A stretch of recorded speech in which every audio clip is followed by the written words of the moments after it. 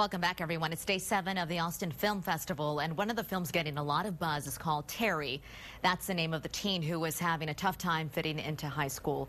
He's overweight and lives in a small town, so finding friends is tough when you want to be different. All of the teasing causes him to skip class, which draws the attention of the vice principal, played by John C. Reilly. He shows Terri it's better to hang out with outcasts than just to be alone.